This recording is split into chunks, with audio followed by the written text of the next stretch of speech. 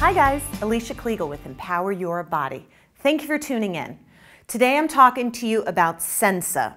Sensa is considered the sprinkle diet. Its tagline is lose 30 pounds without dieting. I'm sure you know how I feel about that if you follow me. I'm not a fan of somebody who says you're not supposed to diet. You have to eat healthy and decrease calories. But anyway, Sensa.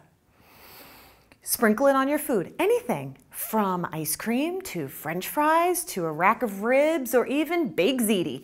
Sprinkle some Sensa on and you'll lose weight. Okay, sounds too good to be true? Maybe it is. Here are the ingredients.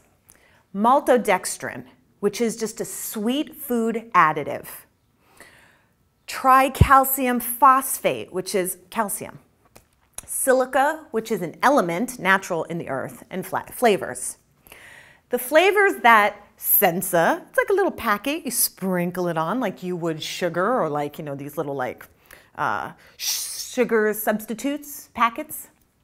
Flavors are this, cheese, taco, uh, horseradish, uh, cocoa, berries, mint, onion, all of these flavors that you can buy, whatever you want your little packet to taste like. Now, it is supposed to be calorie-free, sugar-free, sodium-free, and gluten-free.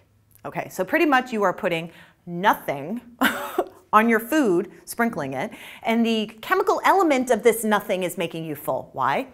Because there were clinical studies done, not clinical trials. Clinical trials are done, which mean that it's pretty for real, and the big scientists studied it, okay?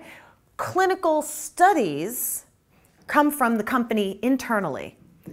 So it doesn't have that much validity and it's also bias, okay?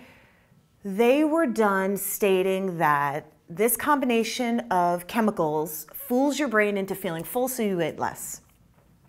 Okay. Not enough research has been done, guys, to really show if this is uh, accurate. So you have to consult your doctor, please. Also, a six month supply of this little powdery stuff is like $250.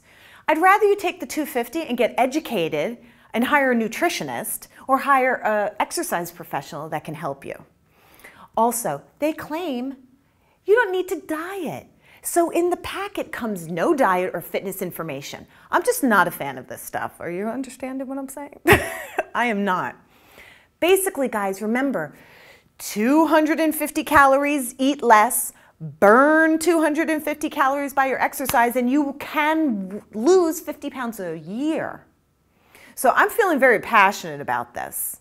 So Sensa, that is Sensa broken down. I'm not a fan of it. I just don't trust it. I don't. I believe move your body, eat healthy. Plus, not only whatever sprinkle stuff you're putting on, it doesn't keep your arteries healthy, doesn't keep your muscles strong, doesn't keep your bones strong, doesn't keep your heart working well. So forget about the Sensa, work hard, okay? More information, go to empoweryourbody.com, read our blog, download our workouts.